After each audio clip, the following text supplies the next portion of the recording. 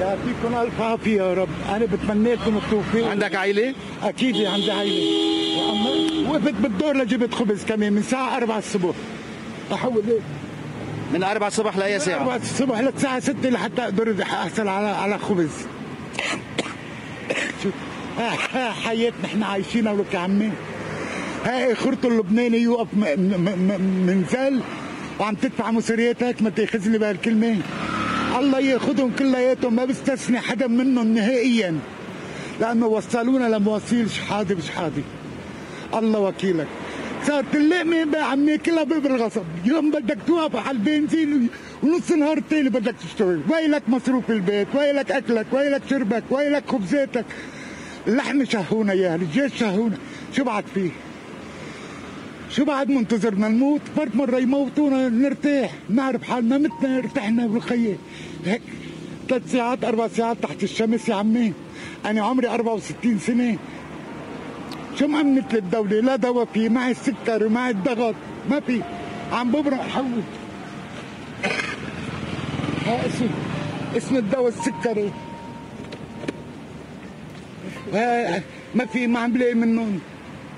قد إيه لك مش اخذ دواء؟ لي شي جمعتين ما عم بلاقي منهم الخي شو بسوي شو بسوي خليها على الله يا عمي شو هو الدواء جوزيف؟ بل... الله يفرجها ما هو قانون الله كيف الله يفرجها يا عمي. جوزيف عم تسمعني؟ عندك عائله؟ هيك إيه خيي عندي عائلة وعم بربي ثلاث أولاد معي صغار. يسلم يا عمي. ابني صار في خلاف هو وعندي ثلاث أولاد حاطط جوزيف؟ شو بدك تركض اللي والله الجيش شهونا اللحم شهونا. ما عم فوق ما عم بسترجي فوت شيء لأنه ما معي حق الدواء ما معي ما بدي خليك تتأثر أكثر ما نحن مقصرين يا عمي. بتمنى لك طولة العمر و... شو بدي أقول لك أكثر من هيك؟ انت هلا من دون رفع الدعم مش قادر تكفي مع رفع الدعم. شو مفكر؟ كيف مكملة الحياة؟ عم بقول لك بفضل بموت أفضل. اشرف نعمة لي. لا لا على هالحقيقه بفضل موت اشرف لي. اشرف لي. بس العطر على احفادي الثلاثة. كيف مصيرهم بكرة؟ شكرا نعم جوزيف. على الله يا عمي. يا رب يوصل صوتك. ودموعك غاليين وكلامك غالي. وسلامة قلبك. الله يسلمك يا عمي. بتمنى لكم التوفيق يا رب.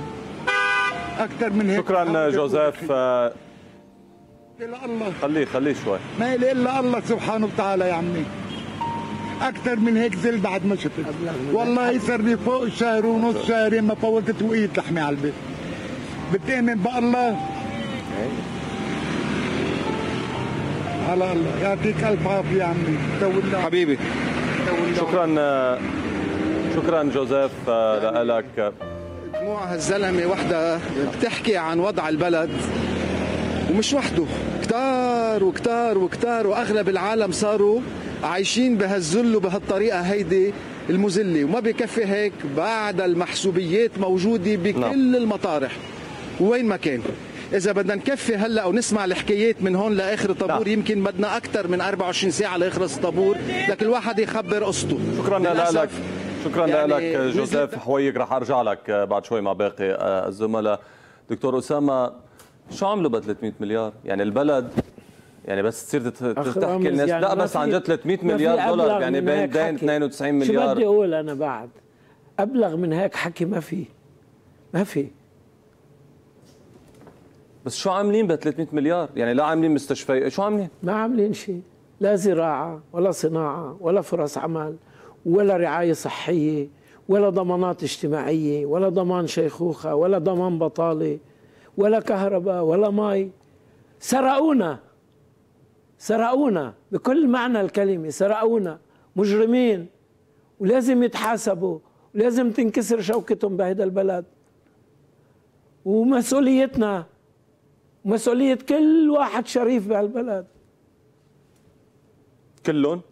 كلهم. كل واحد تداول السلطة كل من تداول السلطة أيا يكن اسمه. هو يتحمل مسؤولية. شفتك تأثرت بس عم نسمع العم يعني. اللي هيدي بتشبه حالات كل حالات ما ما- ملايين من اللبنانيين معلش. مش مئات الآلاف. مل- ملايين من اللبنانيين عم بيعيشوا هاي الظروف وأكيد كل يوم بنقابل صح. عشرات منهم. كل يوم.